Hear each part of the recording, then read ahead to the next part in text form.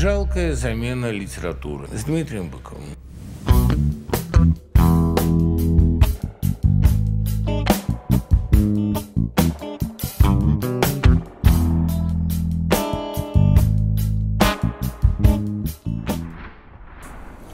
Здравствуйте, дорогие друзья. У нас программа «Жалкая замена литературы». В гостях у нас Алла Сергеевна Демидова. Большая честь вас принимать у себя. Я вспомнил, вот как Леонид Алексеевич Филатов мне говорил, самый дисциплинированный человек, которого я видел в жизни, это Демидова. Каковы истоки этого? Кто вас так воспитал? Не знаю. Я сама на себя, сказать честно, злюсь за это, потому что я всегда прихожу вовремя, но кроме репетиций.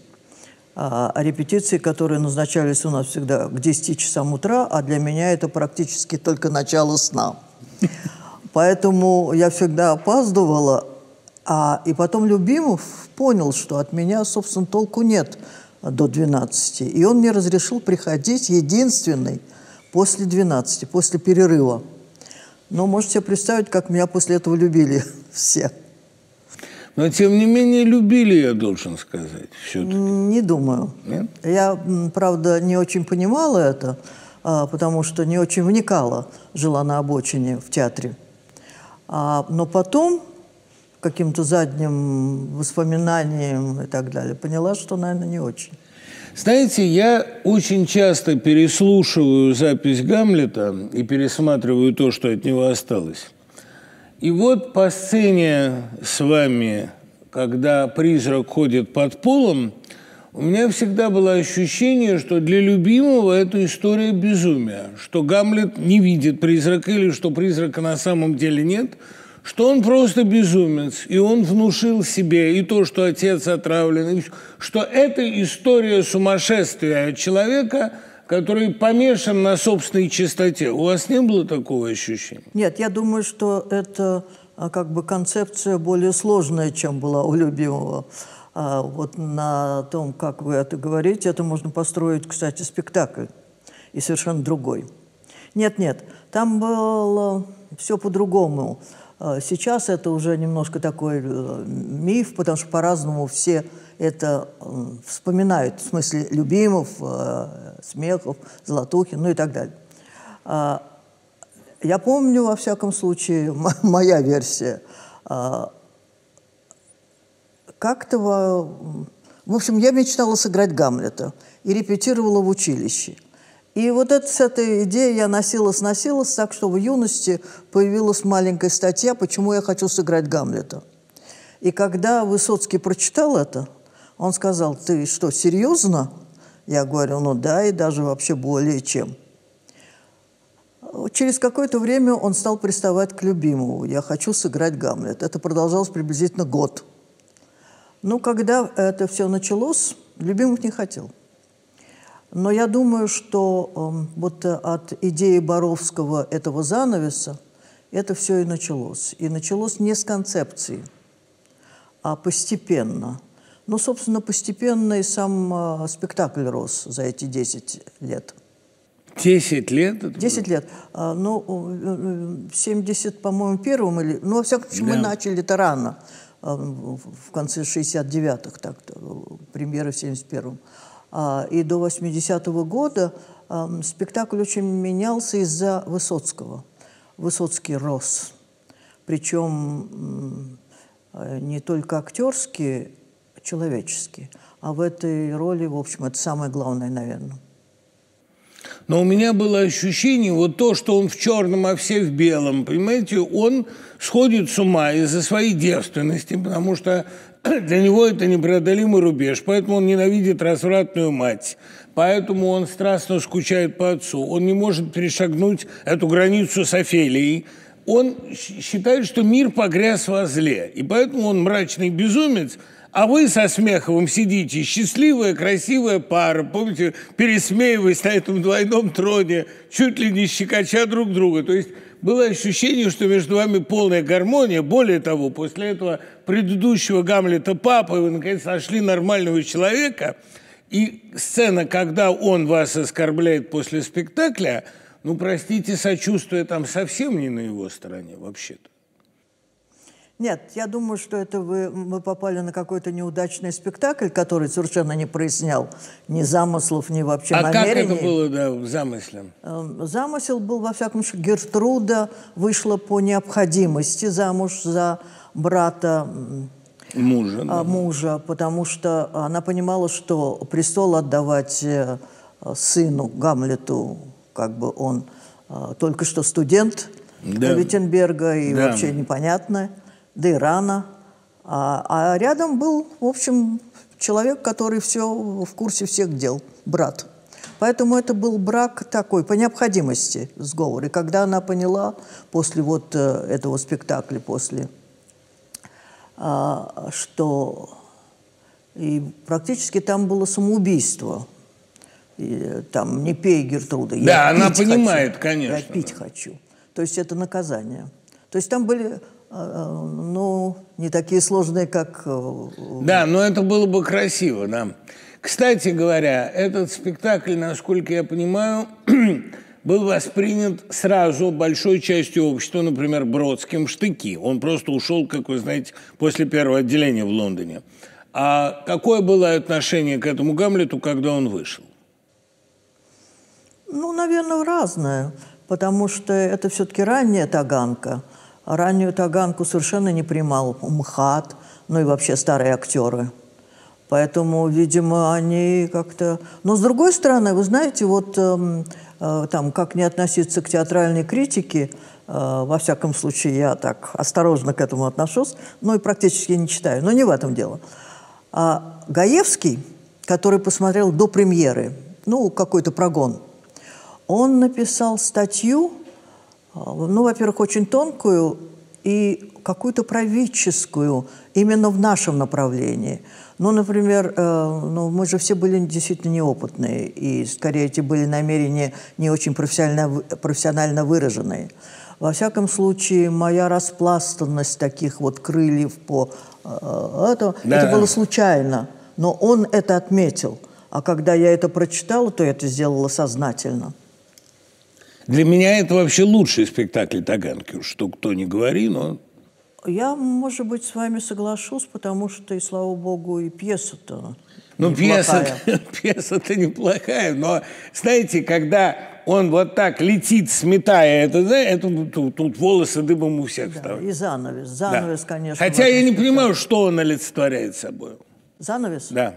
Ну, его по-разному трактовали. То время, сметает время. Время, скорее да. всего, да. То стена Альсинора, которая как бы сужает э, пространство. Ну и так далее. То есть по-разному. И вот эта яма с землей, понимаете, вот кус, да. просто кусок земли на сцене. И совершенно волшебно было. Помните, когда он читает монолог, а все передают его как стукачи. Вот это было дико смешно. Да, это, да. это был смешной спектакль, как ни странно. Потрясающий ну, Полоний. Ну, как у Шекспира всегда было. Как у Шекспира, да.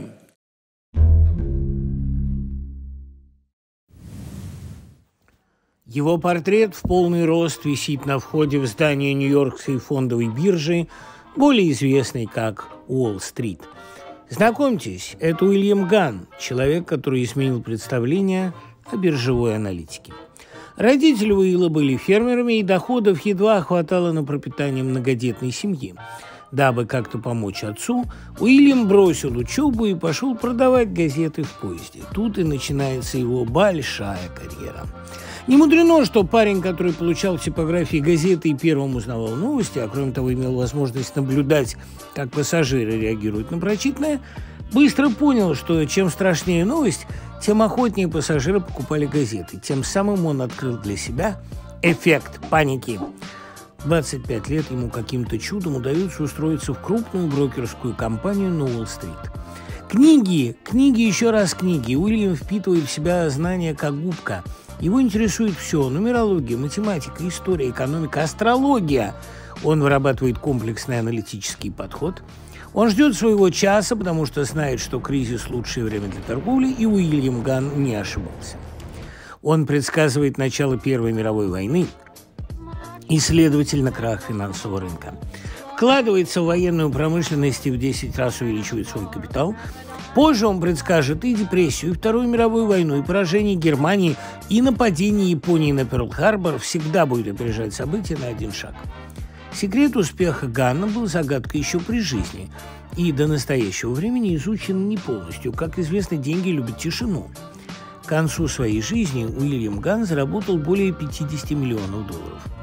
Он первый владелец частного самолета и яхты – придуманные методы анализа, с помощью которых можно рассчитать, какие именно тенденции будут преобладать на рынке в ближайшее время, используются до сих пор. Сегодня тот бизнес, который умеет работать с большими данными, всегда эффективнее того, кто этот инструмент не использует. И поэтому неудивительно, что таких специалистов нанимают по всему миру, и уже сейчас их не хватает. А самые востребованные оплачиваемые направления в IT – Сейчас Data Science. Дата-сайентисты создают искусственный интеллект, анализируют данные и, самое главное, строят прогнозные модели, которые помогают бизнесу принимать верные решения. И за такие навыки работодатели сейчас очень хорошо платят, а государство предоставляет всевозможные льготы. В России data scientist среднего уровня получает 250-300 тысяч рублей, а за рубежом около 10 тысяч долларов – Освоить эту профессию может любой из вас вне зависимости от образования, возраста и опыта. Где получить такую профессию, мы рекомендуем курс по Data Science в Skill Factory. Даже если раньше вы совсем ничего не умели, то вас с нуля всему научат. В обучении применяется специальная авторская программа. Преподаватели практики из крупных IT-компаний Яндекса, NVIDIA и Иора. На курсе гибкий формат обучения. Вы сами выбираете темп и нагрузку – Занимайтесь без отрыва от работы и учитесь столько времени, сколько есть прямо сейчас, 15 минут или 2 часа. Во время обучения у вас будут задачи от реальных заказчиков, стажировки и хакатоны с потенциальными работодателями, а в карьерном центре вам найдут новую работу уже в процессе обучения. А лучших студентов лично рекомендуют по накопленной базе работодателей. У каждого студента есть личный ментор. Он поддержит в процессе обучения и ответит на все вопросы. Skill Factory – лидер в обучении IT-специалистов. А реальные отзывы и оценка 4,7 от студентов на независимых площадках это подтверждают. Прямо сейчас переходите по ссылке в описании. Мы договорились со Skill Factory, чтобы дать вам максимально возможную скидку 45%, которая будет действовать по промокоду ЖЗЛ. А почему-то, хотя все говорят о диктате любимого, все вы при нем расцветали. Это была все-таки диктатура или просвещенная монархия? Опять-таки э, протяженность э, э, ну, временная. Вначале начинали командой. И даже более того, в училище, я помню, «Добрый человек» и Сюзанна, да, и там же недалеко был цирковое или общежитие циркового училища. Во всяком случае, они у нас паслись. И все вот эти проходы, вся эта пластика, это они подсказали. А, музыка, эм, там Хмельницкого и Васильева, которые были на год э, моложе. Ну, случайно. Взгляни там, под... на серый дым. Подыграли. Да, да. да, да. Ну и так далее. То есть когда в компании, вообще это я люблю вот такой театр студийный, когда вообще театр это коллективное искусство, и когда вот э, все заинтересованы, что-то выкреализовывается.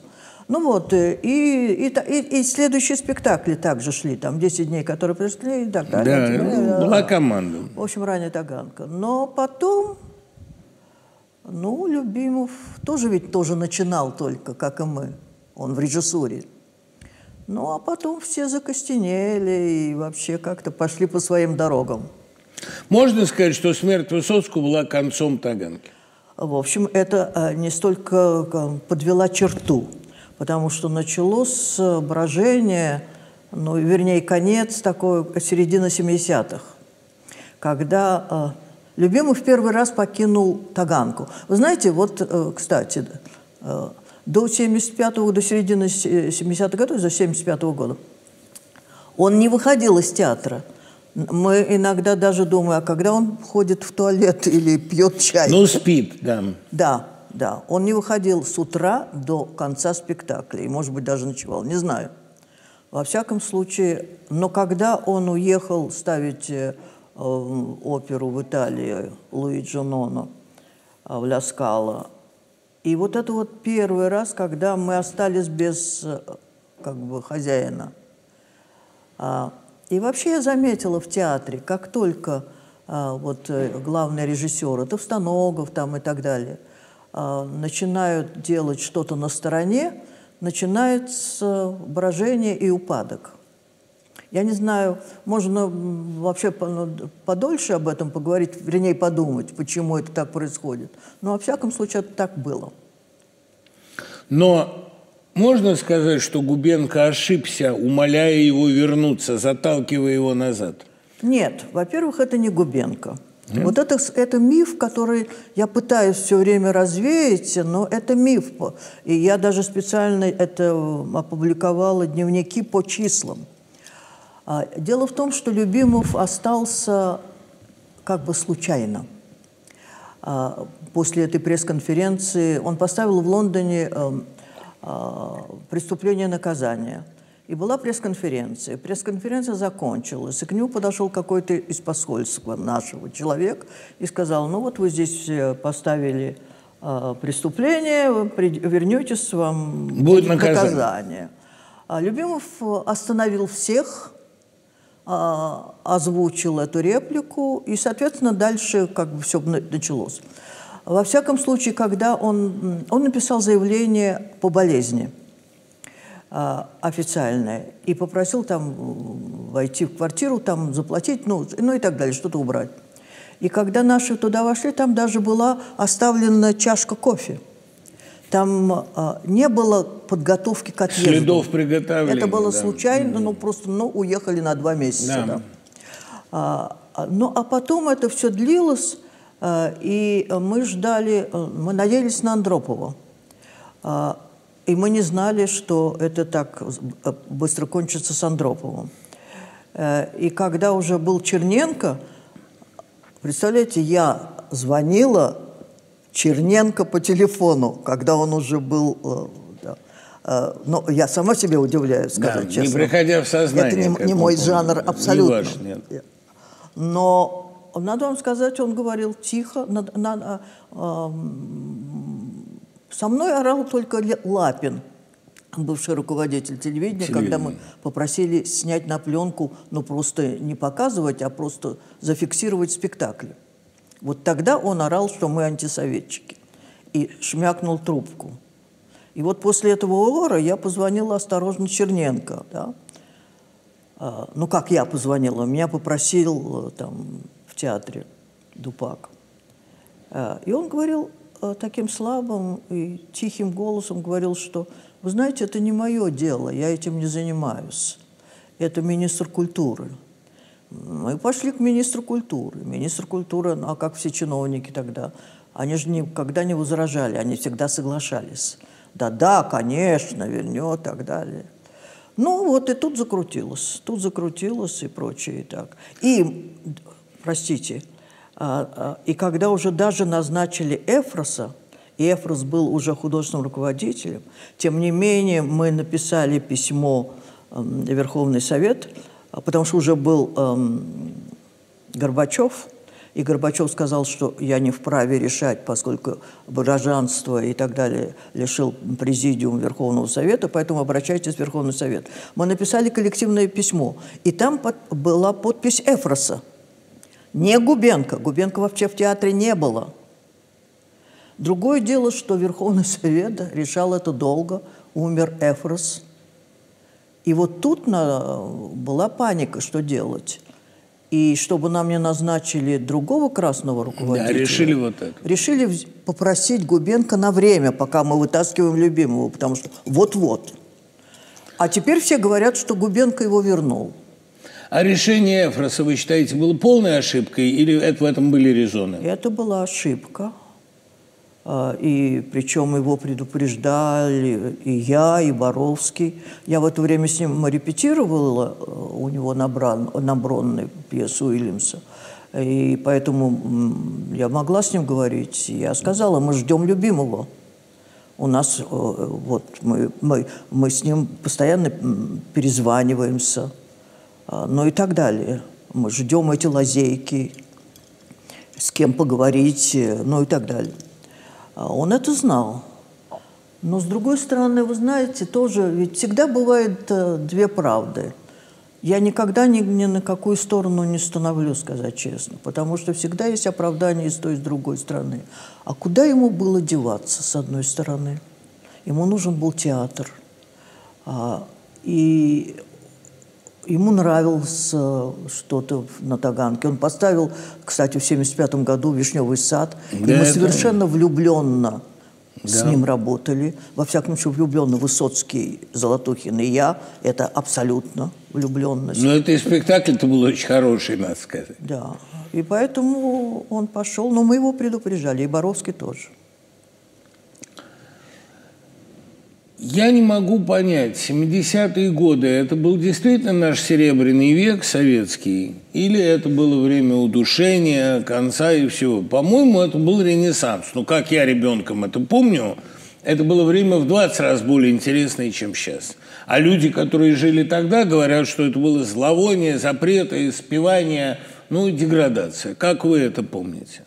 Вы знаете, что в театре, во всяком случае, в театральном искусстве, это был э, вот, э, ну, Ренессанс. Ренессанс. Э, дело в том, почему это возникло, во всяком случае, в театре. Потому что академия так надоела, и вот этот, этот провинциальный психологический театр mm-hmm. так надоел, играли все одно и то же и одинаково, что поэтому этот взрыв Таганки – Современник попробовал, кстати, на 10 лет пораньше, но они пошли по другому пути. Они пошли по э, ну, такому естественному, вот как мы с вами сейчас разговариваем. Ну, современник так советский театр.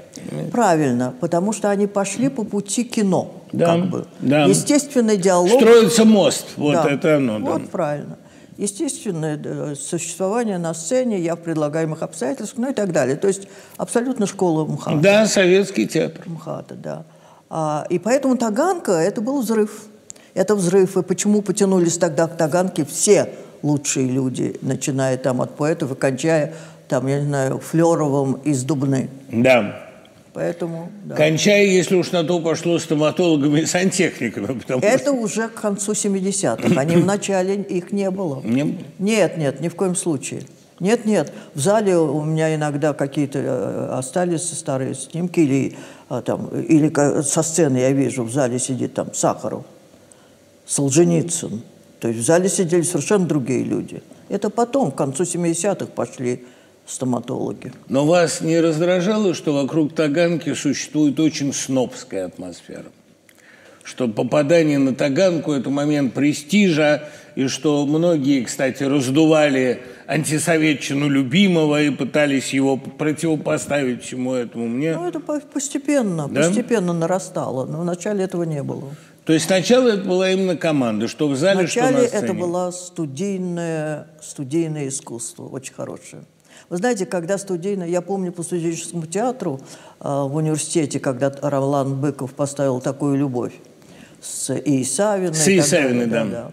И э, э, потом, э, например, у Тарковского всегда студийная атмосфера на, на площадке. Когда собирается команда, причем Тарковский не снимал до того, как он не соберет свою команду. Это очень правильно. К вопросу о Тарковском, раз уж вы упомянули «Зеркало». Он вам каким-то образом объяснял картину? Что он делает? –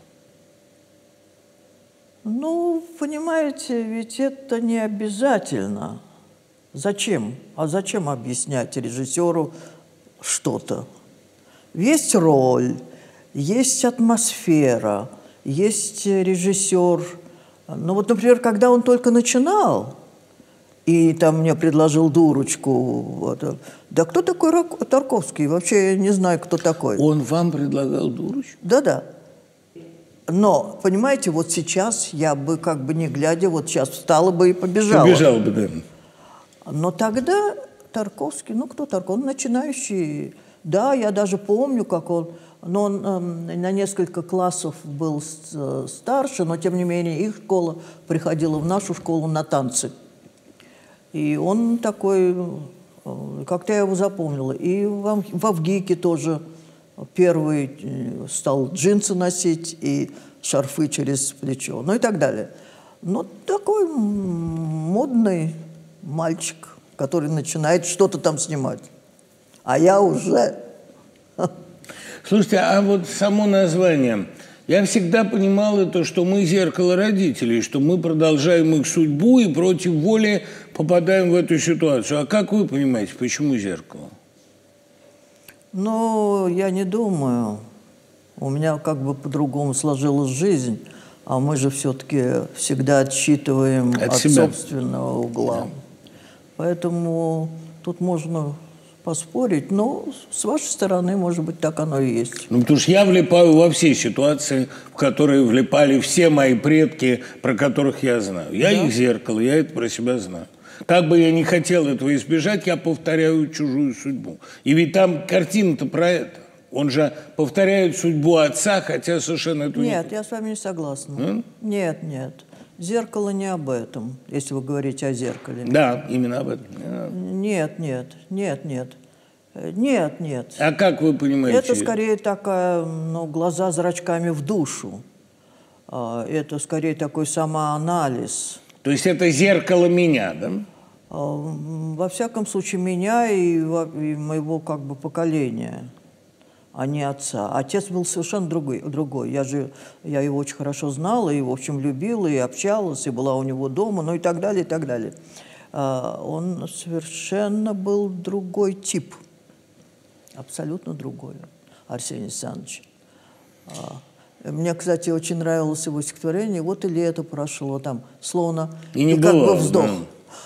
Как вздох сожаления. Да. И не бывало. Ритмически очень да, хорошо. Вот я ему там, Арсений Александрович, как мне нравится ваше стихотворение. Ну, почитайте вы, потому что поэт. Вот и лето прошло, как и не бывало, как бы мало. Но в зеркале читают он сам, и неплохо. Ну да, потому что э, поэты всегда хорошо читают. Иногда, В отличие да, от актеров. Это я вот. И... А вы когда посмотрели «Зеркало» первый раз, вам понравилось оно? Да, очень. Да. Очень. И очень. И первый, и второй, и так далее. Это один из самых моих любимых фильмов. И мне безумно понравилось, но сказать, что я все понимаю, я не могу. А, а зачем и понимать? И не надо, да. Это вот магия чистая. Да, понимать вообще многое не надо. Понимаете, даже вот этот кусок, когда Терехова сидит на заборе и мимо идет Солоницын, уже чистая магия. Вот все это как-то безу... и безумно. Этот, и этот ветер по траве. Ветер. И начинается ветер, потому что в жизнь вошло что-то. И вот божественно совершенно. А, возвращаясь к проблемам театра, я так понимаю, что вы без театра существуете довольно органично. Вам не нужно быть в труппе, чтобы держать себя в форме. Ну, вы знаете, я иногда как бы сожалею, а, потому что театр... Театр это все-таки, а, хоть это сейчас а, опровергают, но раньше, во всяком случае, на моей памяти, это была ну, не то, что семья, все равно я была в стране, как из, от собственной семьи. Но я все равно знала, что у меня где-то там бабушка там под Владимиром, где-то там мама -то в университете. Ну, сеть, которая держит. Да, да. это во-первых. Во-вторых, э, дисциплина репертуара. Это хочешь, не хочешь, а ты играй. А, ну и так далее. И какая-то защита. Защита, потому что вот я оказалась абсолютно ну, беспомощна в жизни – у меня нет защиты, у меня нет за спиной никого, кто бы... Так я могла бы пойти там, я не знаю, ну, машину. Трудно было купить машину. Кто? Конечно, Дупак. Ну, конечно, театр, да? А, очень многие актеры там получали квартиры. Ну, ладно, там мы с мужем кооператив, но, потому что не, как-то не, ну, не важен. А, ну и так далее. То есть театр – это защита. Больше скажу. Все-таки я всю жизнь работаю в редакции, хотя литература вроде дело одинокое. Но если я вне редакционного контекста, не пойти пообедать, не перекурить, не поговорить, у меня нет чувства среды. Понимаете? Поэтому я до сих пор числюсь в редакции. Вам нужна среда или вы обходитесь? Мне нужна среда, которая была раньше а, компании. Вот. Компании, собеседники, даже не собеседники. Ну, например, вот – там, я не помню, помню, мы пришли там, Сатар Масиляне в гости к Мирабу Мамардашвили. Тот жил в коммунальной квартире. пошел на кухню варить э, курицу, чтобы потом ее чуть обжарить, и мы сели за стол. Естественно, они говорят. Естественно, я, как всегда, в своей любимой позе на диванчике в углу сижу и слушаю. Но это же сильнее даже промывает мозги, чем просто диалог. А таких людей было много в компаниях. Кстати, вот феномен Мамардашвили. У меня есть ощущение, что он в глубине души издевался над теми людьми, которые слушали его лекции, которые обожествляли каждое его слово. И в огромной степени это была клоунада. Вот я послушал записи лекций. У меня есть полное ощущение, что он всех их водит за нос. У вас не было такого чувства? Ну, я никогда не была на его лекциях, но, с другой стороны, я могу понять, что любой человек, который выступает перед толпой, немножко... Он всегда над. Это закон. Закон. Вы знаете, я помню, а, Антокольский мне в свое время рассказывал, как он был влюблен а, в северянина, а северянин выходил на сцену в сюртуке и пел свои там эти поэзы и прочее и так далее. Да. И, и, и, кстати, он-то э, сильно надсмехался над толпой, которая его превозносила. Да. Так вот, и Антокольский, он говорит, ну я был молод, и где-то там в 20-х годах, когда еще северянин там не уехал, он говорит, и вдруг я увидел своего кумира в ресторане, он сидел в углу один в этом черном сюртуке, но пил водочку и закусывал селедкой. Говорит, у меня было полное разочарование. Крем де Виолет вообще, да, я Кстати, вот по вопросу об Антокольском. Он один из моих самых любимых поэтов, и мне кажется, поэт, он крупнейший в поколении, а всю жизнь тоже вот проходил в клоунах. Это ужасно ведь на самом деле, понимаете? Потому что он боялся своего истинного масштаба. У вас было ощущение, что он великий поэт? Не знаю. Нет? Я как-то по молодости не делила людей на такие... Нет, но это эксцентриада безумная, а все время большой трагический поэт, настоящий. Вы знаете что, это, пожалуй, вот это поздняя такая оценка. Или вы как... А мы же общались... Ну, он приходил, садился вот в кресло, как вот вы сейчас сидите, или я там, и начинал вспоминать что-то, причем забавные истории. Я тогда думала, боже мой, сколько же он знает этих историй, сколько же, как интересно он... Сейчас я могу рассказывать тоже, как Шахерезада, там, эти истории, я набита этими пластинками. Но а тогда мы просто это воспринимали, ну, поколение, да. Ну, мне повезло со стариками, сказать честно. В общем, Ну, да. и Завадский, наверное, тоже, или нет? нет? Завадского я не знала. Не знали я не знала. совсем? Я театральных мало знала. Я вообще не театр. Вот он, говорят, был крайне интересен. Ну, судя вообще по, э, э, скорее, таким воспоминаниям Цветаевой и прочее. Да. Естественно, что не могу я вас не спросить про фильм, только что вышедший. Мне показалось, что сценарий вы делали с Любой вдвоем, и все ваши взаимные колкости были там прописаны вами. Это правда? Нет. Нет? Нет, это э, фильм абсолютно сделался без меня. Я вообще от, а, а, отстранилась от этого. Э, Люба же хотела снимать что-то другое, э, но без сценария, без э, объяснения. Даже мы пробовали что-то снимать там ночью, э, но непонятно о чем. Э, хрустали остались после этой ночи где-то там и так далее. И я просто отстранилась. Я сказала, я в этом участвовать не буду. Э, но я помню, меня там многие уговаривали, но тем не менее я очень рассердилась и отстранилась. Это все было без меня. А вот эти диалоги, о которых вы сейчас там да, говорите, такси, это просто до фильма, просто у нее в комнате, ну как бы вот разговор ни о чем, то, что называется. Угу. Я даже не думала, что это попадет на экран. Нет, но это очень органично. Ну, почему бы нет? Я помню, была идея фильма про умнягу, про умную женщину, женщину 70-х. Что для вас входит в понятие ума? Я этого сформулировать не могу. Не знаю. Не знаю, ведь ум же бывает разный. Ум практический, хитрый, житейский, э, ну, или литературный, ну и так далее. То есть тут в зависимости от окраски. От окраски и от человека. Он бывает разный. Он проявляется по-разному. Но с другой стороны, если он, ну, он, не, мне кажется, это не самое главное. Нет, это, конечно, самое главное. Ну, потому ну, что, быть, знаете, это функция от совести, мне кажется. Ум – это проявление снисходительности к окружающим, милосердия. Это зависит от человека. Это, это порядочный, добрый человек, умный, тогда да. Но ум бывает иногда и у дьявола. А вам случалось видеть... Да. Они же очень самовлюбленные, как правило, нет. недалекие нет. люди. Нет? А, э, все-таки люди умны, и поэтому эта самовлюбленность скрывается если она даже есть где-то там. Но это недалекость. Ну, слушайте, ну все дьявольские шутки, как правило, очень наивные. Это все бесенята. Да. Ну, так а бесенята же глупы. Конечно. Это вот как раз, э, это, э, это всегда легко просчитать. А вот умного дьявола вы не просчитаете. А вам случалось видеть умного дьявола?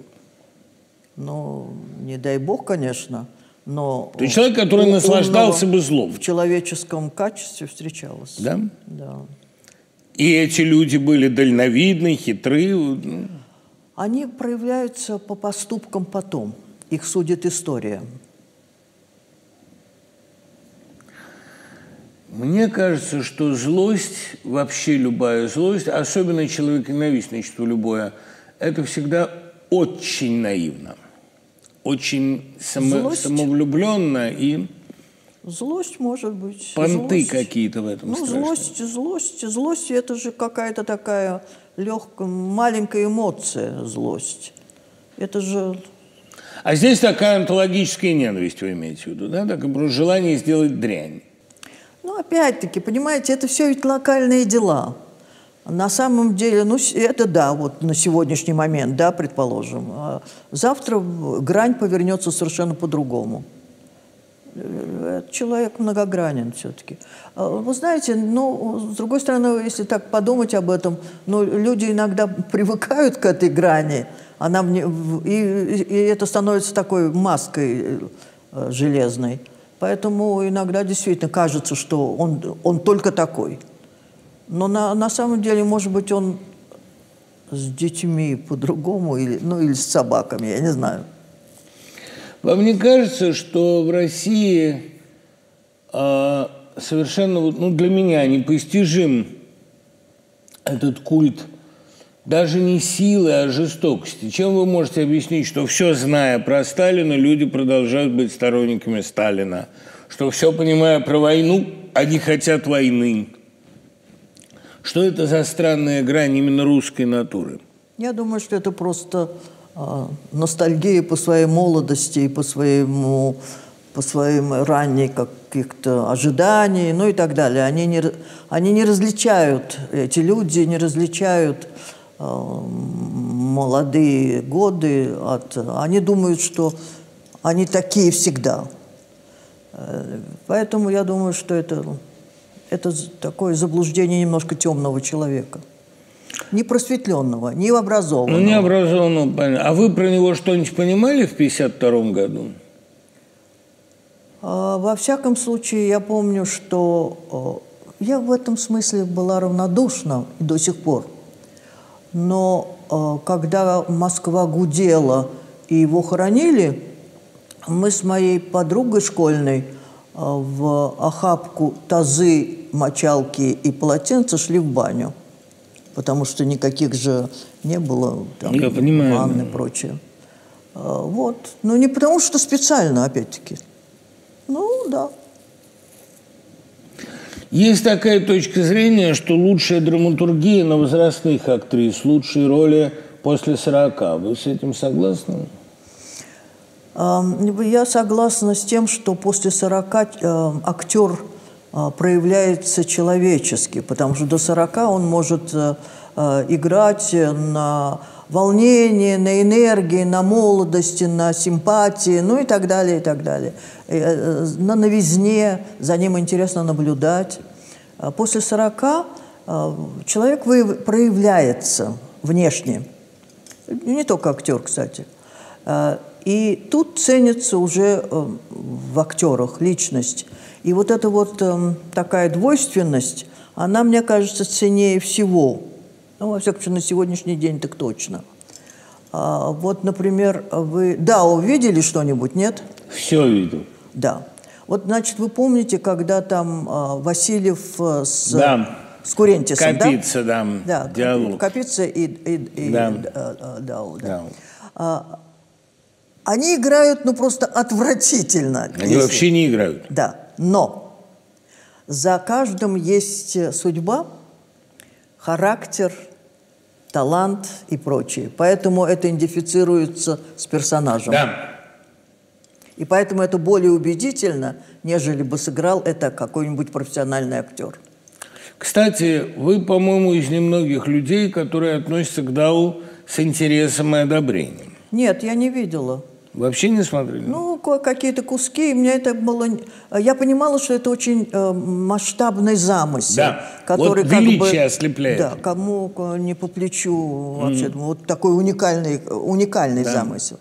Но э, как бы мне было неинтересно, наверное. Я так начинала смотреть и заканчивала. Но вот перемонтированные серии, которые Васильев перемонтировал вот со своими, э, это я посмотрела, мне было интересно.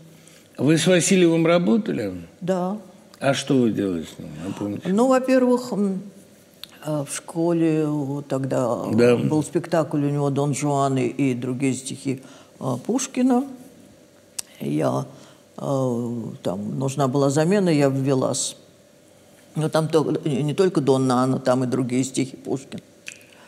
А потом Хемингуэя, вот наша последняя была работа года два или три назад. А, «Старик да, и море». «Старик и море». Но это была пытка, конечно. Вот. И, ну и сейчас стараемся что-то придумать.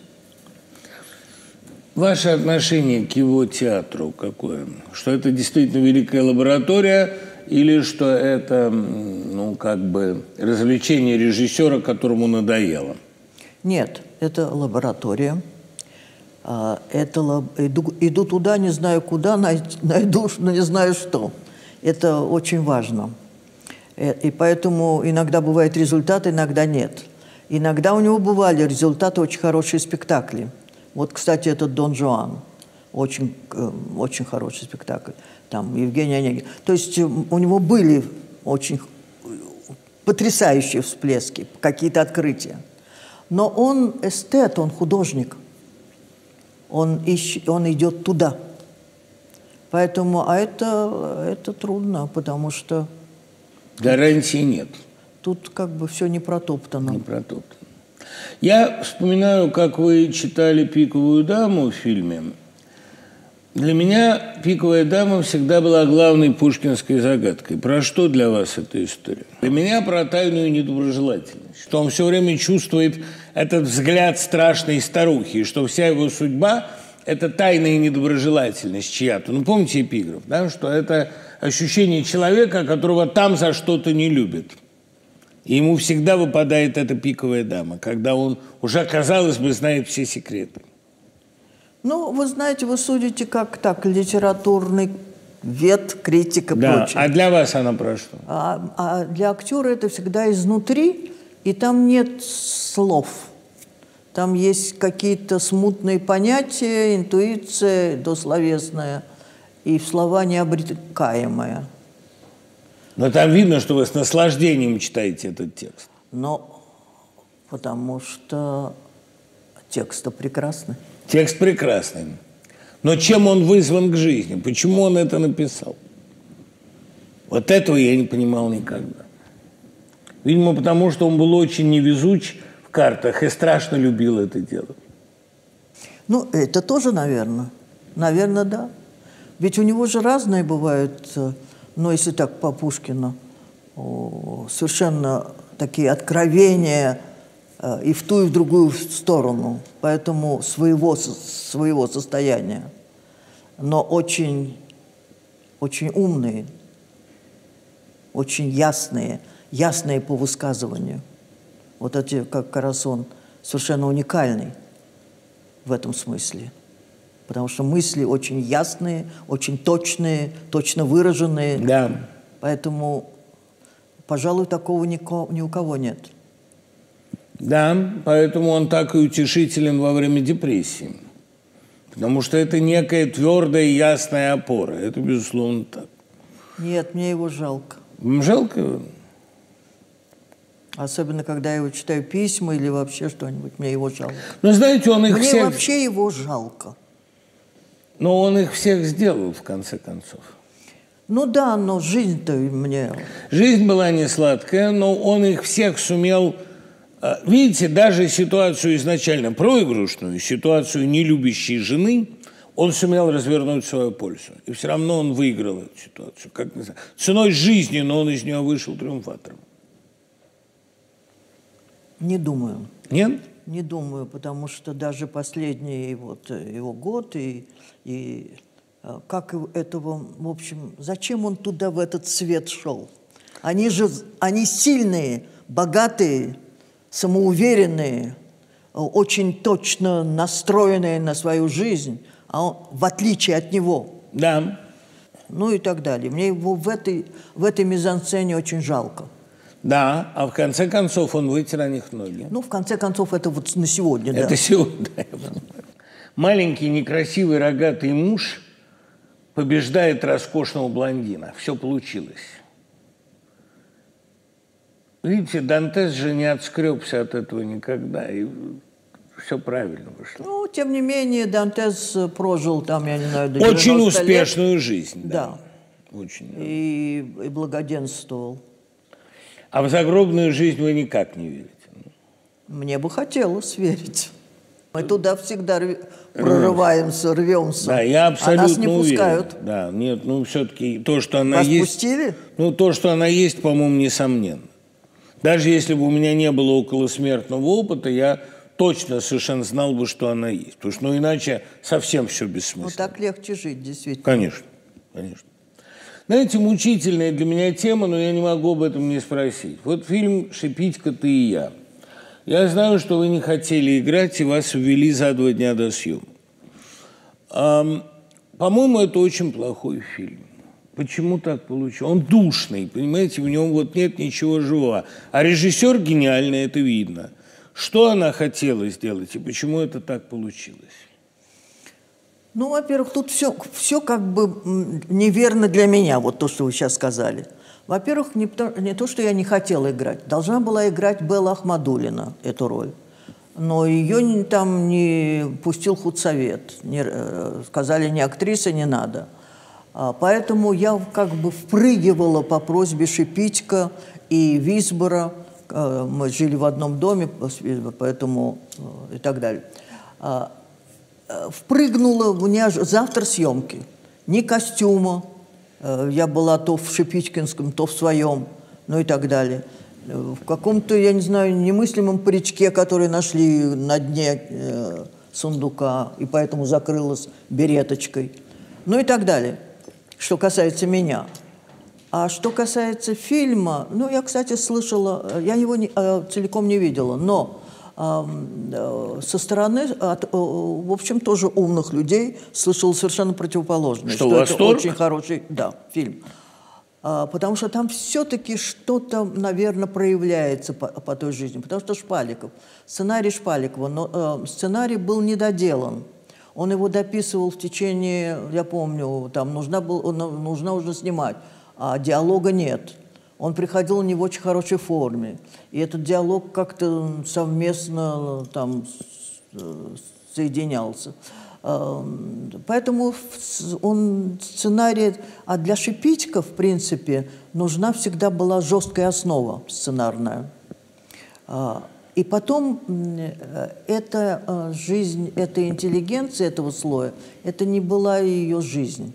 И поэтому для нее столица была совершенно друг, по-другому. А это все-таки про а, а, а Шпаликов, ну, как бы наш человек. Да.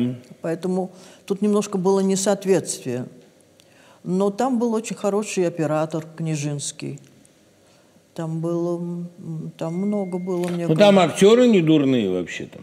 А, ну, актеры, да. Тишков. Нет, я думаю, что вы не совсем правы.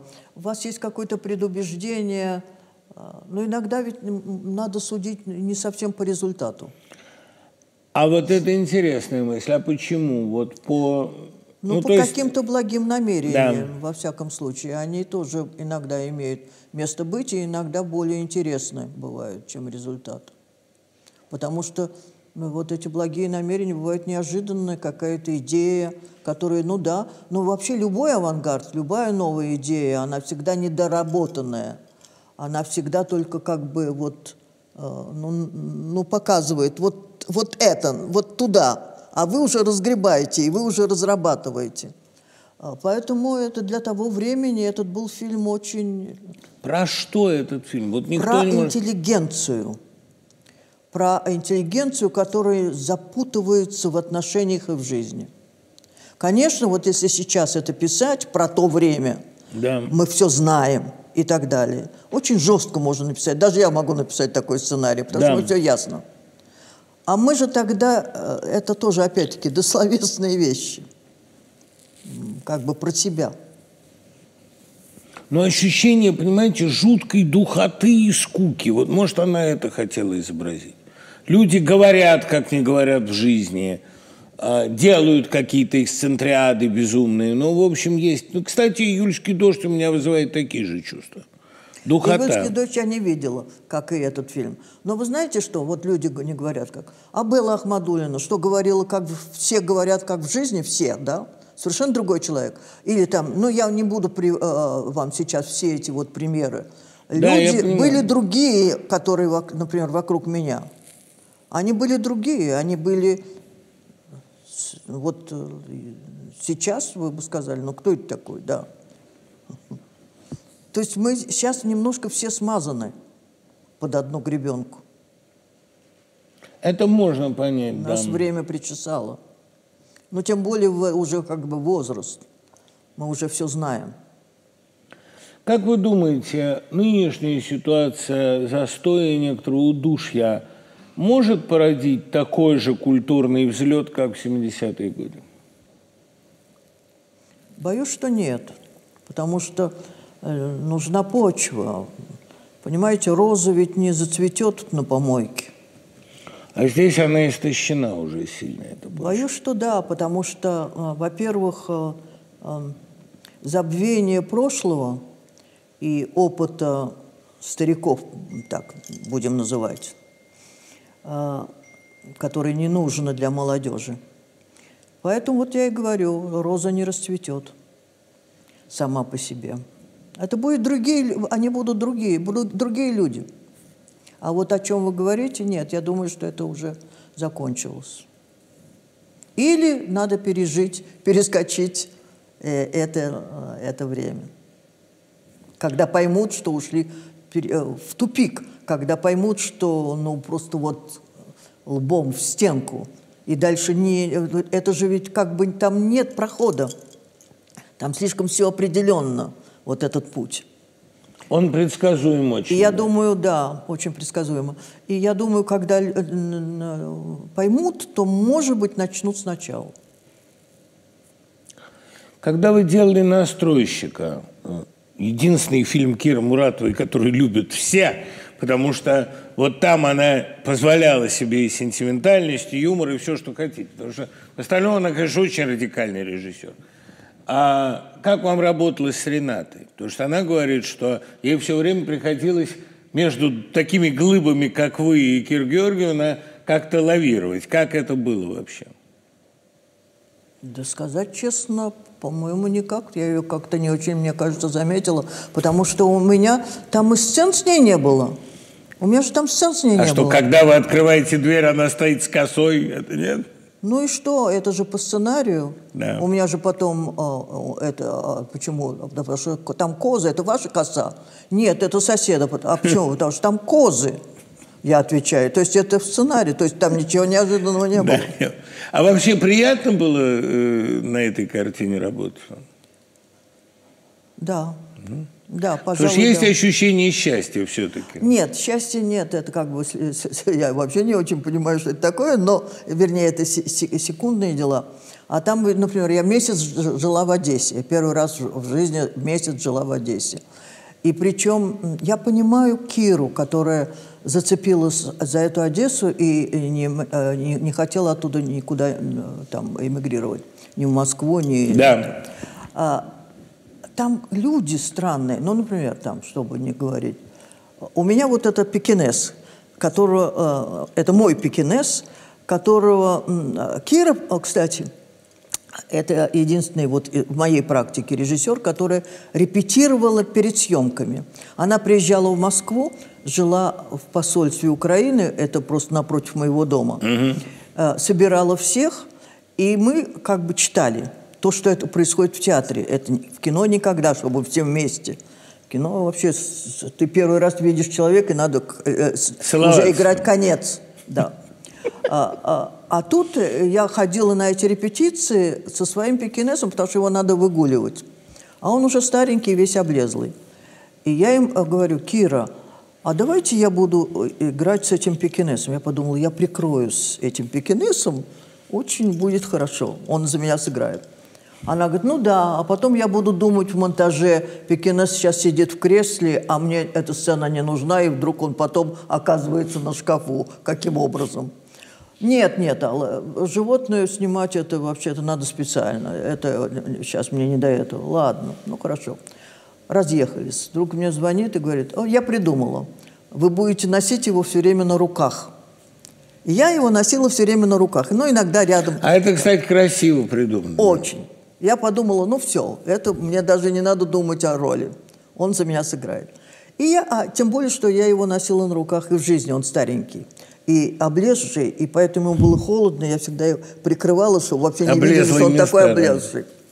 И мы иду по улице со своим пекинесом. Женщина какая-то идет, по улице просто. Это что у вас, кошка или собака? Я говорю, собака. А какой породы? Я говорю, пекинес. Пекинес? Пекин? Китаец, а глаза русские. Причем на полном серьезе. И вот это это Одесса.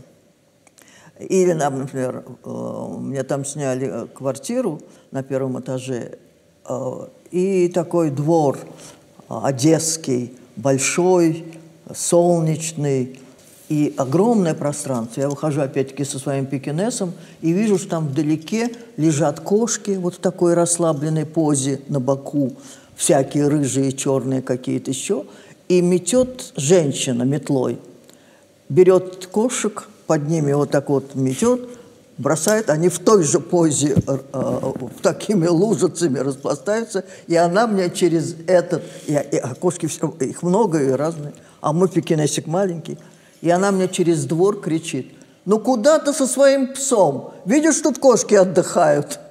Тоже. Одесса. Вот, поэтому все Кирины, э, эти маски – которые, может быть, раздражают неумением играть вообще и так далее, потому Нет, что они слишком локальные. Хорошо. Это Одесса. Она, э, это ее почва, это ее земля.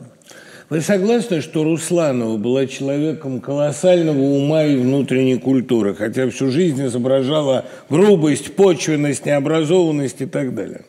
Не знаю. Ну, вы же с ней там отработали. Ну, как? Да, но я не знаю, я с ней никак не общалась Нет? вне площадки. Никогда. Было ощущение, что годы прожили вместе, ну, как, собственно, и в фильме. Да, нет? нет, нет. Я даже не знала, как она живет, где она живет, что она любит. И вообще, мы никогда с ней не разговаривали.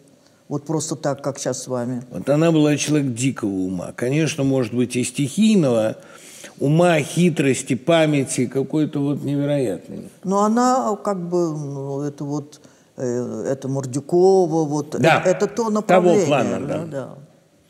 И там, знаете, ну вы настройщика-то смотрели, я думаю. Да. Вот эта сцена, когда игрушки в окне, ну тут рыдали каменные люди. Помните, когда она едет с этим обманщиком, а в окне продают игру? Это, ну это такие рыдания. И финал, конечно. Но вы знаете, это не очень получилось, потому что это не было в сценарии. Это я вам расскажу. Мы со своим пекинесом едем э, в, на поезде э, зимой, во всяком случае был снег, э, в Одессу на съемки. И ночью остановился поезд, и мне нужно выгулить пекинеса. И вот мы вышли, И, э, и был такой снег мокрый, такой косой, с этими фонарями, очень красиво. И пустынное это, это, пространство такое серое. И вдруг из заднего там бегут по этому пространству, по перрону, толпа с этими игрушками. Они увидели меня и бегут на меня все, чтобы продать. Сучить, да. Потому что оказалось, что там фабрика игрушек. Да, а конечно, им дают зарплату этим, да, расплачивались да. этими игрушками. Я приезжаю, рассказываю это Керри. И, и ей это все очень понравилось. И она решила это снять. Но это было хорошо, когда вот этот мокрый снег через эти фонари, пустынное пространство, это вот одинокая женщина с этим несчастным пекинесом – и вот на нее эта толпа этих слонов и, э, и этих ужасных Плюшевых. монстров, да. Вот это имеет место быть, но это бы снял другой режиссер. Это совершенно эстетика другого режиссера. А вы, кстати, смотрели «Мелодию для шарманки»? Нет. И не надо. Нет, это великий фильм совершенно. Но я помню, как на первых же кадрах Шалковский сидел на просмотре и сказал – бить будут долго и больно. И вот там три часа зрители бьют долго, больно, умело, профессионально. Такое жестокое кино, просто невыносимо. Но это более жестокое, чем астенический синдром.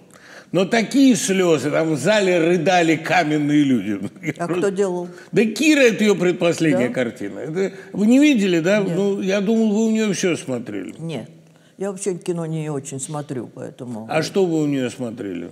Ну вот астенический э, синдром, правда, да, отличная картина? Очень, потрясающе. Очень Но, знаете, вы знаете, я заметила, что Киру надо смотреть всегда два-три раза. Да. С первого раза, особенно вот московский человек, не воспринимает эту эстетику. Да. Ему это или как-то неудобно, или как-то не чужое, или как-то слишком, слишком, ну и так далее. Но второй раз э, она проявляется. Поэтому, да. Я понимаю, что вопрос не к вам, но Валуцкого уже не спросишь. Вот «Зимняя вишня». Некоторые говорят, что это абсолютная клюква и пошлятина, и сериал. А мне кажется, что это очень глубокая трагическая картина, потому что я ее смотрел, пребывая в этом положении, да, там разрываясь на два дома. И я считаю, что это лучшая его сценарная работа, потому что там образ советского мужчины, русского человека на рандеву, вскрыт с потрясающей силой. Как вы относитесь к «Зимней вишне» и к герою, к Соломину? Вы знаете, не, не могу с вами согласиться, что мне кажется, лучше, мне кажется, его начальник Чукотки – а, Начальник Чукотки – это вторая картина его, по-моему. Первая. Вообще первая, да. тем более. Ну, да. ну как, ну неужели вы думаете, что он лучше этого дебюта ничего не сделал? А, нет. Э, э, вы знаете что, ему не везло с режиссерами как ни странно. Ну, вот а, начальник Чукотки да. Мельников. Мельников, да. Да, это было очень хорошо. У него сценарии всегда намного интереснее Конечно. и более литературные. Они были литературные, потому Но что... они изданы книгой, да? Они... Э, э, у него учитель Габрилович. А Габрилович, они, он всегда э, Писать. в литературу. Сначала литературный сценарий. Сейчас же не пишут литературных сценариев. Сейчас да. совершенно по-другому это все, все организуется. А что касается «Зимней вишни», там, понимаете, там вот это, это совместное творчество с Масленниковым, потому что это скорее у Масленникова была эта история, о котором вы о себе говорите. Это масленниковская ну, слушайте, история. у всех была такая история. Ну, может быть, может быть. Но она не такая, кстати, явная, как у Володи, несмотря на тот миф, который все время там э, где-то цитируется. А, а, поэтому, да, он откликнулся на какую-то такую жизнь, в общем, понятную, причем очень понятную. И, да, в какой-то степени. Мне кажется, это не жанровая картина, это как раз вполне себе артхаус, потому что это...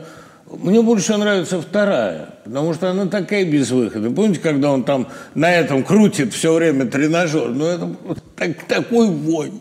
И Соломин так ее сыграл, мне кажется, гениально. Потому что действительно он актер-то был великий. И вот это страшное обаяние раздавленного человека, раздавленного абсолютно, потому что спит с какой-то ПТУшницей абсолютно. Ну, в общем, не понимаю. Мне это ужасно казалось э, точно и здорово. И, кстати, великолепная Сафонова, мне кажется. Наверное.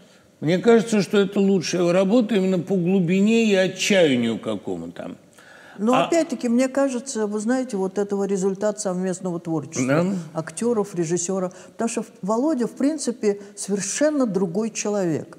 Он человек семейный, с бабушками, с мамушками, с дедушками, со всеми делами.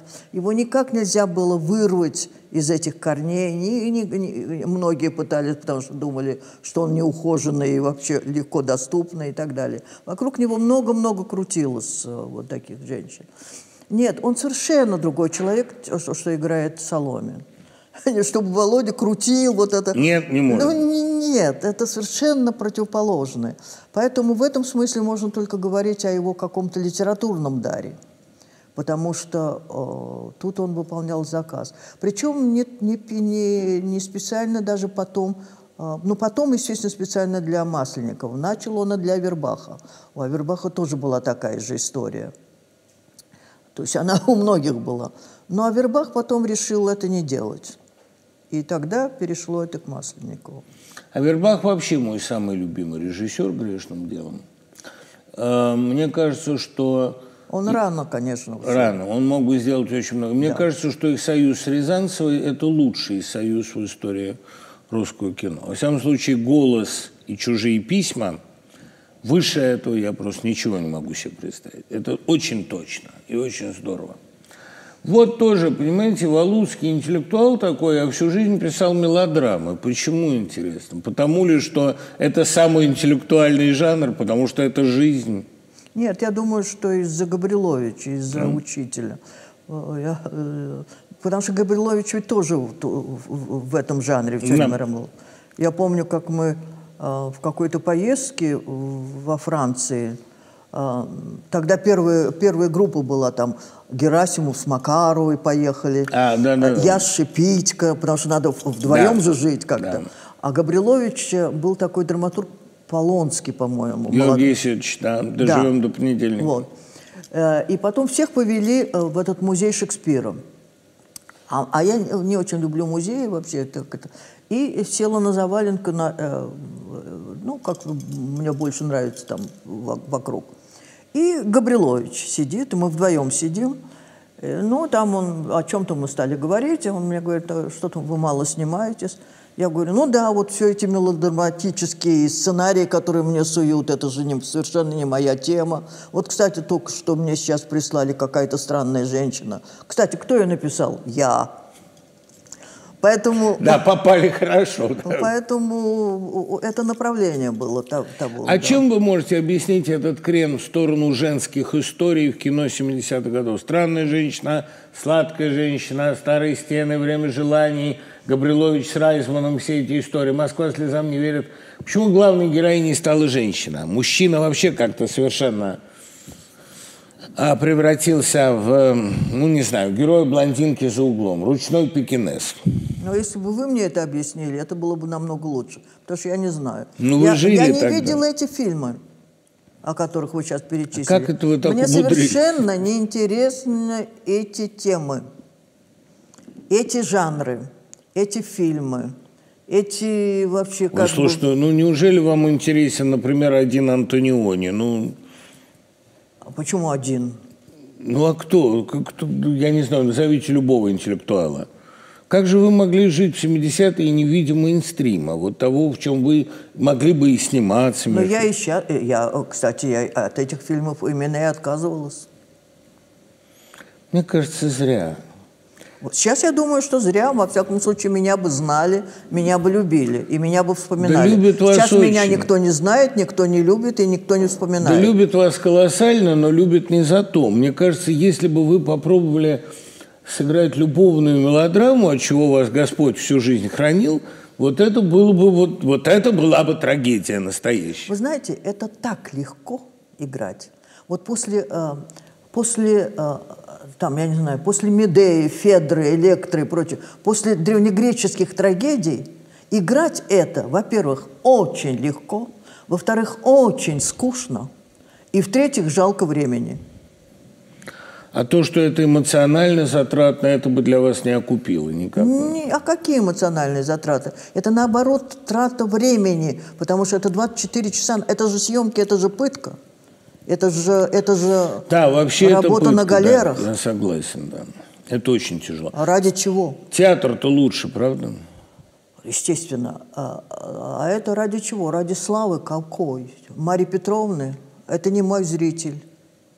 Мне тогда надо совершенно было поворачивать жизнь в другую сторону. Нет, знаете, в каком смысле это интересно? Это может несколько приблизить к разгадке любви. Потому что я вот совершенно не понимаю, что это такое. Это не похоть, это не сострадание, это не восхищение, а это какая-то эмоция, которую я не понимаю. То есть я ее испытываю часто, но что меня к ней подталкивает, я не могу понять. Это я вот, женившись третьим браком, начал отдаленно понимать, на что это похоже. Но это очень сложно. Как, как, откуда берется любовь, я не понимаю совершенно. И более того, я не понимаю, эту любовь, собственно, к чему. Потому что ни к красоте, ни к чему. Ну, в общем, для меня это был бы, там, мелодрама для меня была бы замечательным экспериментом. Вот подумать, как это бывает. В себе как-то это раскопать. Но для вас, видимо, это не, не, не проблема. Ну. Для меня вообще это действительно не проблема, потому что меня как-то жизнь охраняла от этих страстей. Ну да, считается, что любовь – результат черного пиара, что ее значение несколько преувеличено. Мне кажется, да. То есть, мне кажется, это все как-то смешано, страсть, влюбленность, любовь, а с другой стороны есть другая привязанность, о которой не вспоминают, а это, мне кажется, самое сильное, что вообще есть в людях. А когда привязанность, когда не можешь без этого человека, ну, как бы так жить, а не спать. Спать можно со всеми. Вот это то, о чем я говорю. Правильно. Но это, это не любовь и не влюбленность. Это все быстро проходящие э, чувства это что-то другое. Это название, наверное, и нет. Есть близости людей заветная черта, вот типа. Ну да, черта, которая, которая ну да, которую, опять-таки, даже он не назвал. Не назвал. Вот странная история э, с Ахматовой, которая большую роль играет в ваших поздних филологических казусах, исследованиях. Мне кажется, она была очень хорошим человеком. Я бы ей все мог о себе рассказать. А какое у вас восприятие ее как личности? Потому что без личности не может быть поэта. Это взрыватель, без которого граната не взрывается. Как вы ее воспринимаете по-человечески? Ну, Дима, ну ведь зачем вы меня спрашиваете такие, в общем, трудно необъяснимые вопросы? Потому что, ну, в разном периоде она была разная. Мне кажется, Нельзя, она не как менялась. про любого человека. Нельзя сказать про любого человека, что он такой. Он в разных проявлениях разный, и слава богу. А тем более творческий человек. И чем, чем больше граней у человека, и тем, чем больше он гранится и разница, и по-другому как бы проявляется, тем интереснее, тем более он глубокий человек и более интересный. По-моему, у нее была одна черта основополагающая. Она не боялась быть плохой. Какая есть, желаю вам другую. Не боялась быть растоптанной, не боялась быть в поражении, поэтому сумела написать «Реквием». Из ну, растоптанного ну, Вы положения. забываете сороковые годы, э, прочитайте дневники Бергольц, когда это сороковые уже да. годы, когда, да, но даже после... Это пришла э, полусумасшедшая, выжившая из ума старуха. То есть э, нет, ну, это вырывать из, кон из контекста времени нельзя человека. Нельзя. Если уж вы сами упомянули дневники Бергольц, фактически вы ее играли в «Дневных звездах», хотя это героиня. Но все-таки, не никак, вот это самое страшное. Во не хотел я об этом говорить вообще, но в дневниках Бергольц есть слова «Если бы не тюрьма, мы бы не выдержали войну». Как по-вашему, это она пытается оправдать для себя свой тюремный опыт или это правда? Если бы не террор 30-х годов, мы проиграли бы в 40-е. Не знаю. Что касается Бергольц, Мне кажется, недаром она во время там, вот, блокады, когда у нее влюбленность, ну и так далее, я никогда такой красивой, такой счастливой не была. Несмотря на то, что умер любимый муж, но в то же время другой. И она была очень востребована и в любви, и э, да. как бы, э, э, городу, да. И потом, когда это кончилось, она не могла это пережить, и она хотела все время это вернуть. Э, влюбленность мужа, э, которому она уже да, практически не нужна была. Ну и так далее. Э, влюбленность людей, а она не могла им уже ничего дать такого, что она могла дать раньше и так далее. Поэтому эти запои очень понятные и объяснимые. Не знаю, тут, тут надо много, наверное, говорить и много вспоминать. И, и, и опять-таки нельзя говорить вообще. Но знаете, у них же у всех была эта тенденция оправдывать катастрофы. Вот Некрасов, который пишет, что если бы не годы отступления, ну, два года отступления, мы бы не выдержали Сталинграда. Если бы не тюрьма, мы бы не выиграли войну и так далее. Они все время словно пытаются оправдать террор. Понимаете? Вот в чем ужас. Но, может быть, они и правы для своей, для, каждый для своей судьбы. Но если немножко вот с нашей точки зрения на все это посмотреть, это все более раздроблено, все более сложнее намного. Сложнее, да. И... Я просто понимаю ее чувства. Понимаете, ей надо свою тюрьму, свое унижение, свой кошмар чем-то оправдать задним числом. И вот она оправдывает этим, что если бы не война, и то если бы не тюрьма, я не пережила бы блокаду. Вот у нее такой есть опыт. Это, понять это можно. Понять это можно, но в то же время можно и возразить. Можно, потому что хочется. это на самом деле не так. Хочется возразить. Ну да. Мне, кстати, кажется, что дневники Бергольд самые откровенные. Более страшных дневников нет. У нее действительно только что умер муж, она переживает любовь к Макогоненко, она вспоминает ужасное умирание мужа, это все в блокаде, это коктейль невероятный. Вы ее знали? Да. А, но, кстати, про дневники более страшные, когда жизнь с Макогоненко, когда да. у нее все ушло. Ужас, да. Вот тут откровенность за, до предел, запредельная. Да, запредельная. Да. Я ее знала, вы знаете, что когда стала сниматься, мне как бы она хотела на, на меня посмотреть и как бы меня все время к ней. Но я так интуити, чисто интуитивно, я не хотела этой встречи, потому что я думала, что я э, буду ее копировать, а это, в общем, как бы, ну, ну и так далее.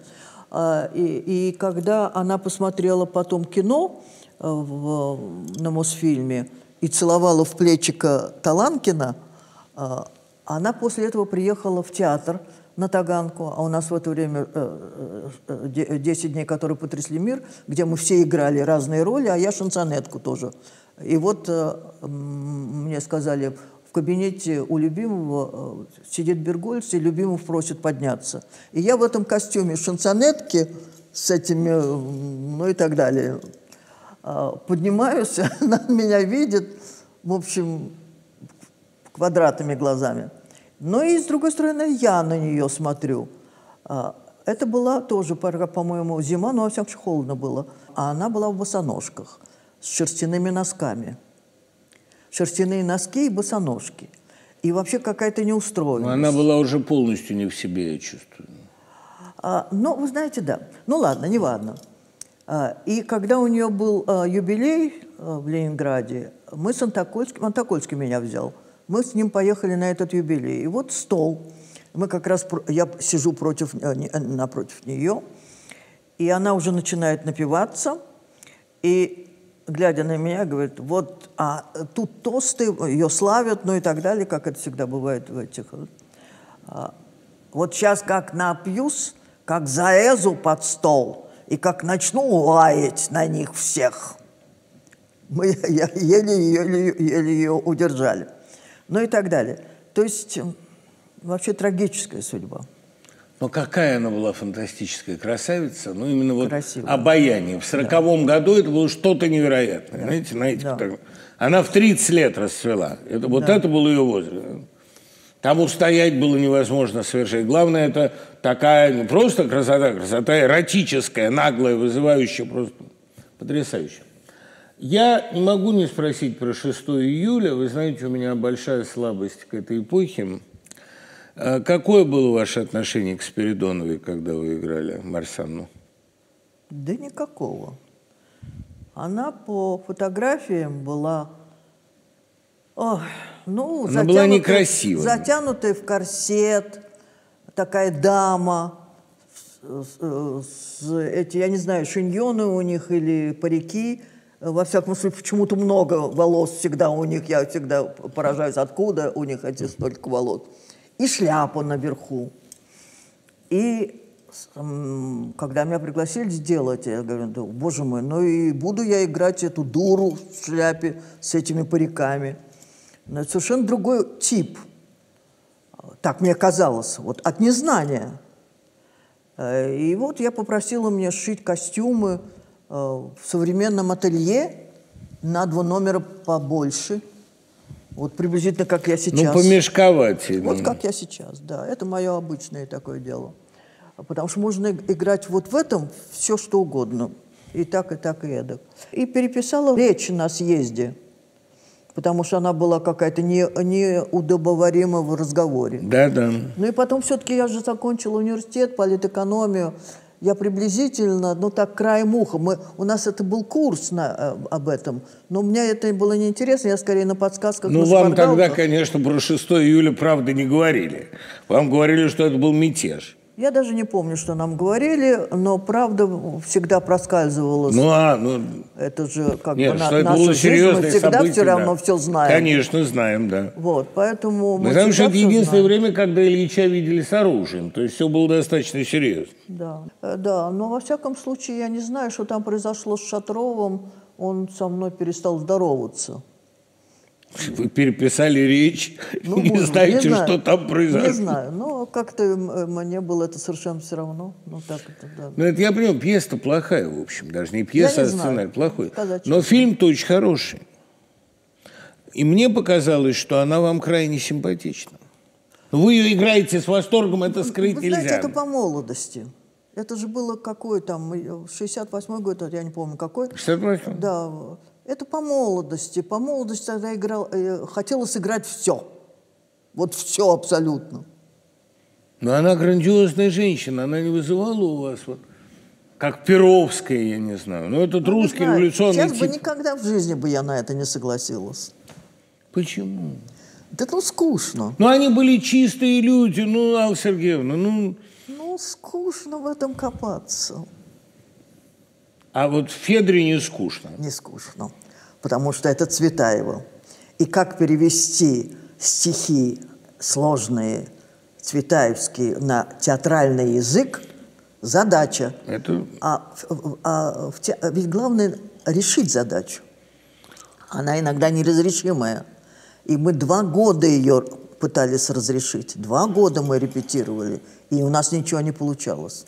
Нет, профессиональная задача очень интересная, читать Цветаеву со сцены. Да, потому что... Не читать, а переводить на театральный язык. А Федра вам кажется хорошая пьеса? У Цветаевой, да. Именно Цветаевская вот это, да? У Цветаевой, да. Все остальное там надо идти, э, влезать уже в, в древнегреческую, когда, когда да. не было э, слова «совесть». Они не знали, что это такое. Да, когда была рок. кара, когда было предопределение, ну и так далее. То есть там другие законы. Поэтому там надо влезать в другое, и поэтому совершенно другие задачи. Мне кажется, что Федра нарочно написана так у Цветаевой, чтобы ее нельзя было поставить. Потому что это такой ломанный язык безумный, такая строфика, ну, это не, нельзя сказать, чтобы это звучало, нет? Анти, антитеатральная пьеса по природе. Да, да, это я с вами согласна. И вы ее переломили, вы думаете? Ну, во всяком случае. Мы, мы там, правда, много ввели, во-первых, из э, ее, ее дневников записи, а, из писем, потом два стихотворения, которые «Плач Федра по Ипполиту», «Ипполит, Ипполит болит», болит да, да. и «Послание Федры э, письмо, это не входило в пьесу. Поэтому пришлось много вводить и много адаптировать. Для меня поэма «Без героя» – это история про два предвоенных года, 13 и 40 и про то, как наступает всеобщая расплата за маленькие личные грехи. А что вы там находите и почему вы долго с ней работаете. Что для Поэма вас это? героя? Да, таинственная вещь. Ну, вы знаете, что это скорее такая энциклопедия культурной жизни. Да, Поэтому это не, и не 13 год, и не 40 и вообще никакой.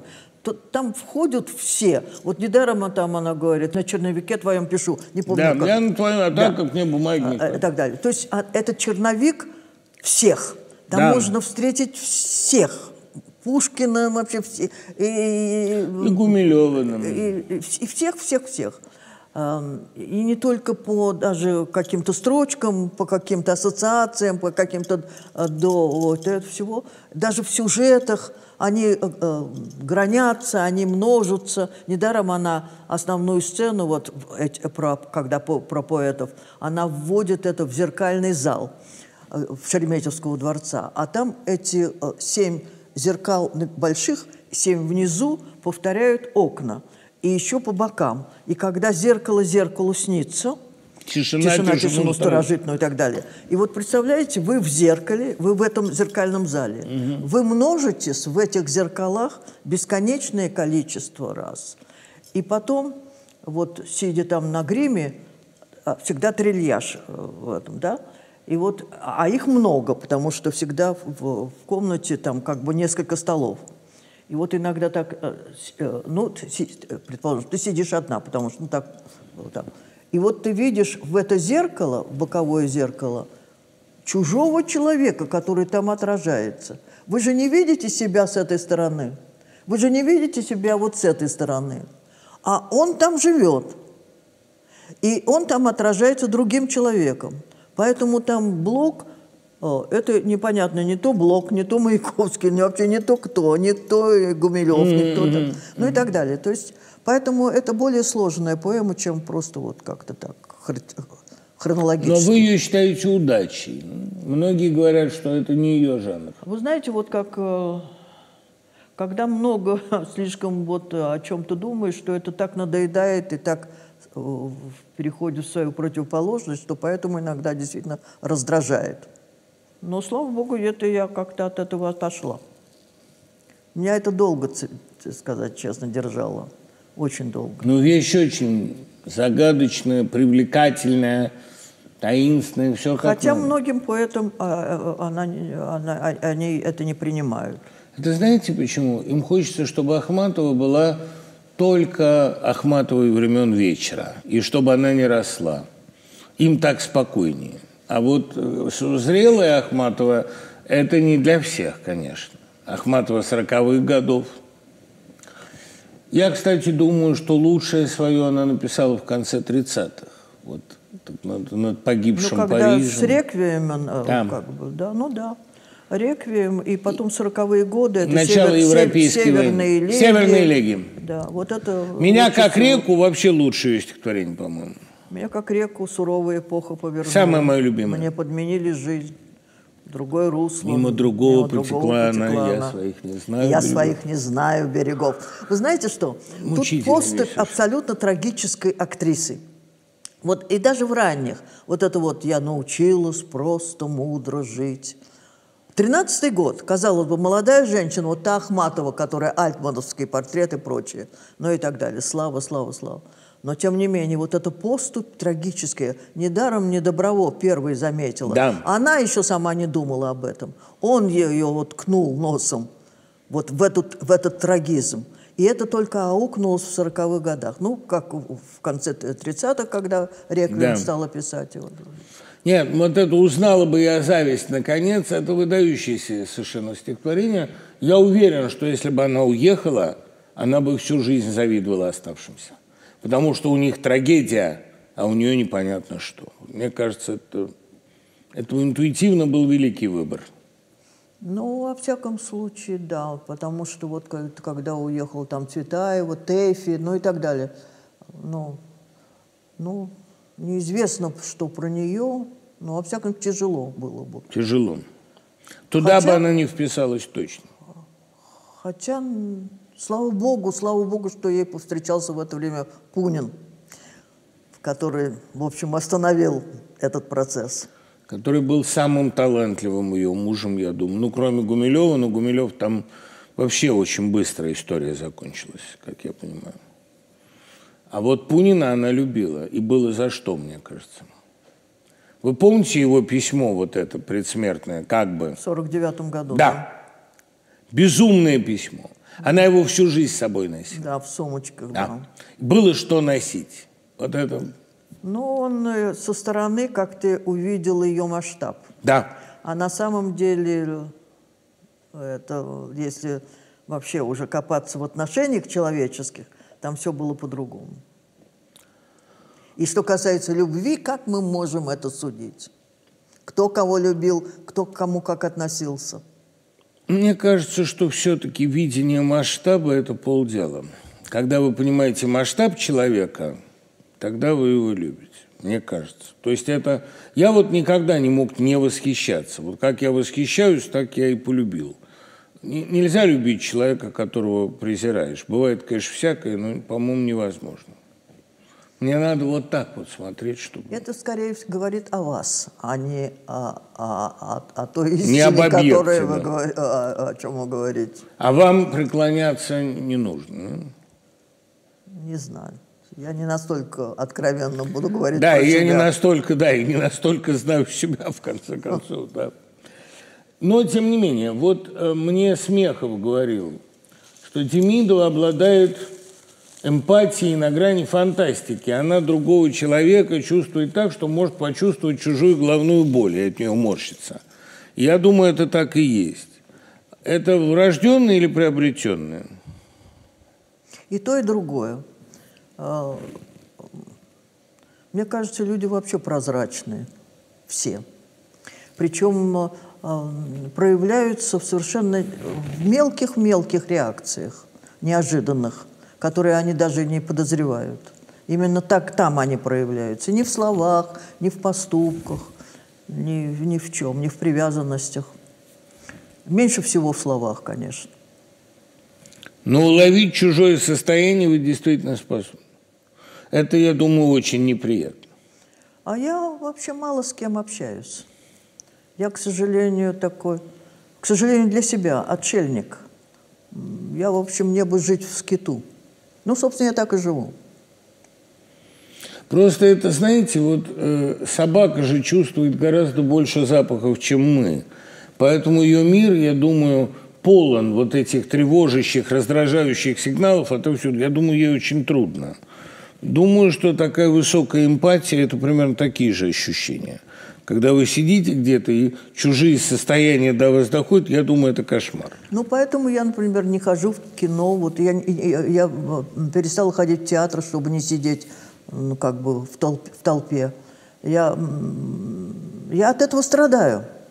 Потому что, с одной стороны, мне тяж, тяжко одиночество, сказать честно, мне оно надоело безумно.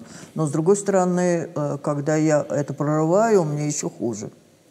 Знаете, вот Савина, с которым мне случалось там несколько раз не только разговаривать, но и выпивать, э, замечательно сказала, да, сижу без людей, как сыч, ужасно, вышла к людям через 10 минут куда угодно, только не с ними, не, невыносимо.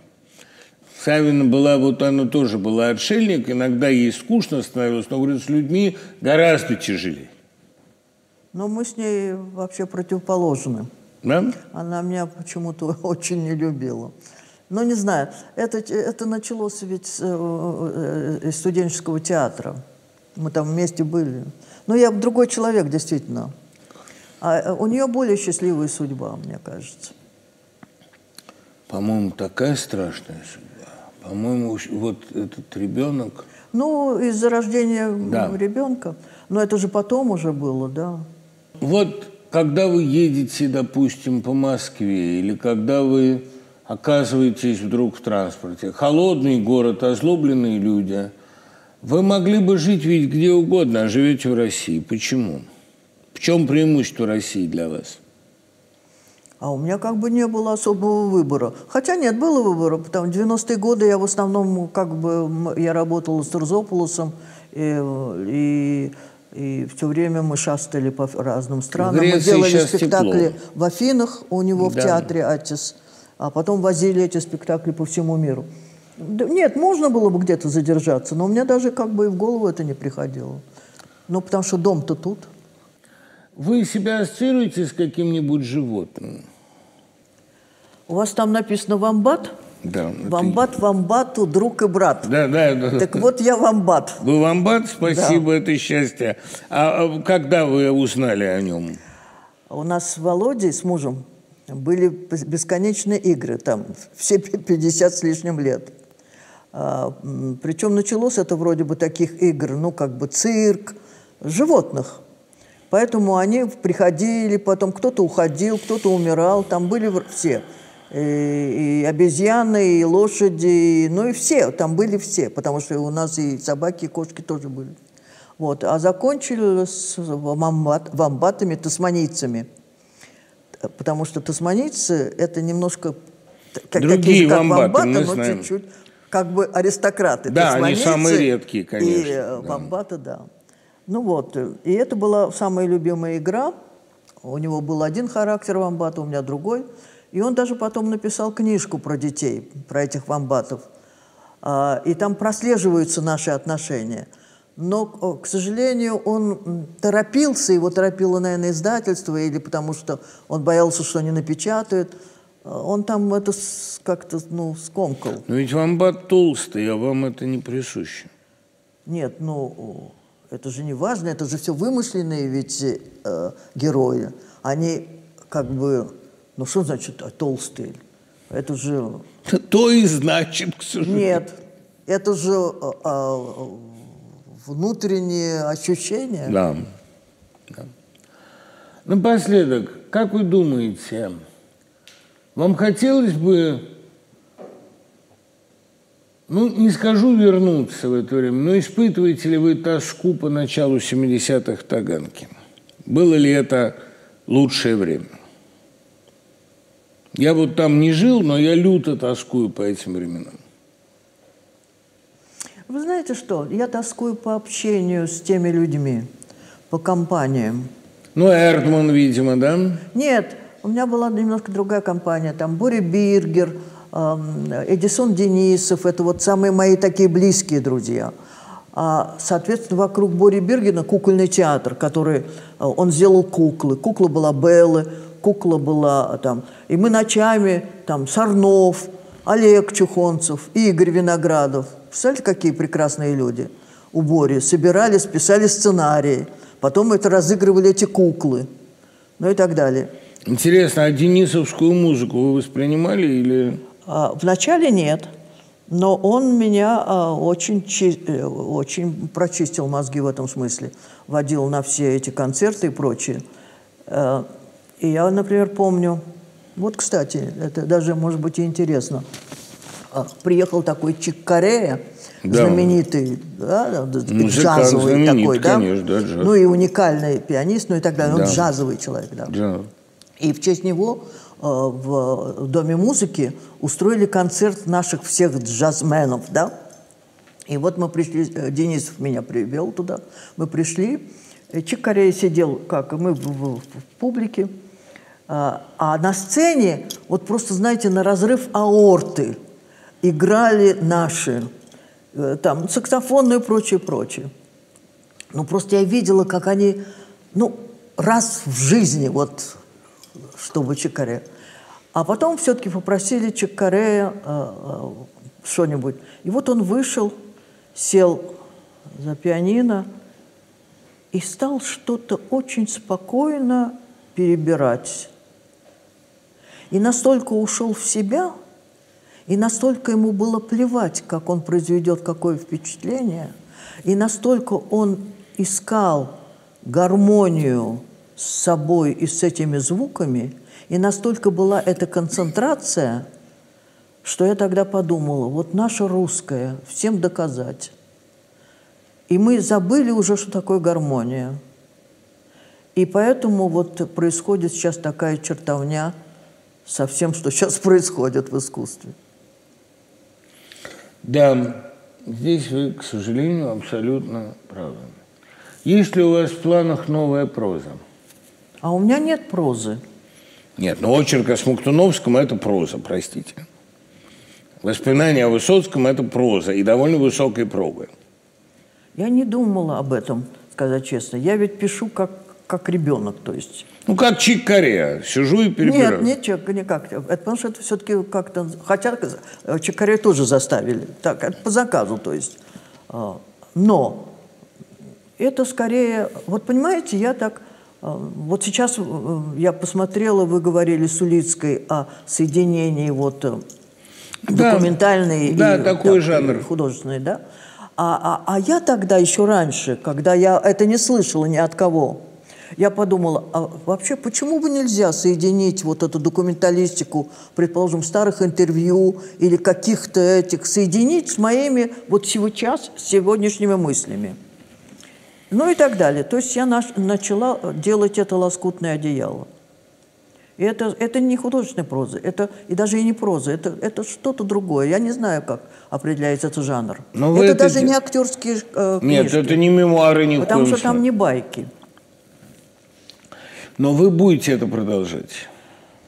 С одной стороны, вроде бы э, есть о чем сказать честно, но, э, но не могу найти жанр. Я не могу найти э, как обращаться, вот как, как об этом писать. Потому что просто вот какими-то такими, как раньше, такими всплесками памяти.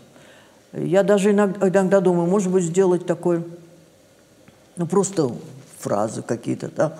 А потом я тут полезла в дневники. Мне в последнее время очень нравится читать дневники чужие. Да, да.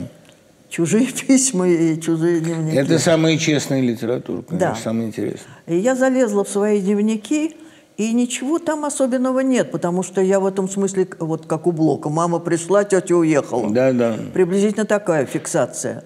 Но за этой фиксацией есть такой, знаете, ход времени. Как время меняется, тем не менее. Но это надо читать вот так от и до, вот как скользить по этим годам. А, а, может быть, это, не знаю сказать честно. И потом, а сейчас я не востребована. Раньше мне заказывали, а сейчас, как бы вот, например, э, вот я вам сейчас дала эти шесть книг своих последних, но как продавать эти книжки, я же не знаю. Они у меня в связках лежат дома, потому что э, э, это же не издательские дела – это просто деньги, которые издательство ну, напечатали эти книги.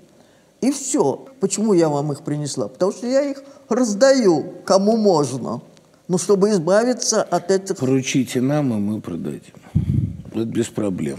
Мы даже отдадим вам все деньги. Один вечер в прямой речи это улетит полностью. А вы просто сидите и надписываете. И мы продадим это за с полпинка, потому что это безумно интересно читается. Понимаете, я вот не предполагал, что Смоктуновский был на самом деле вот такой. Мне казалось, что он такой надмирный, а он был абсолютно простой и, в общем, в каких-то вещах не понимавший себя человек. Но вы очень классно про него написали. То есть я просто слышу его интонации стенографические. Это очень круто. Дай вам Бог здоровья, спасибо вам огромное. Я должен вам сказать, что из всех людей а, вашего а, театрального и литературного поколения вы наименее памятник. И это внушает такое уважение. Понимаете, ведь вам засахариться и окаменеть ничего бы не стоило. Но, слава богу, я э, в вашем лице соприкасаюсь с живым нервом всего этого. И дай бог вам так и дальше. Спасибо, пока.